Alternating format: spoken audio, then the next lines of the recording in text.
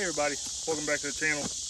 Um, I'm just gonna show you real quick. I'm finishing up for the day, um, but I got this run almost done.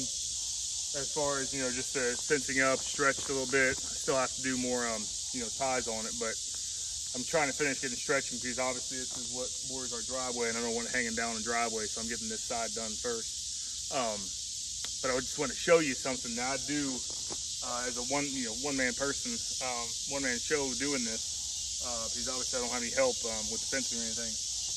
But I got a, you can see I have my come along and my strap right there at the bottom, and I'm just pulling it, stretching it out a little bit.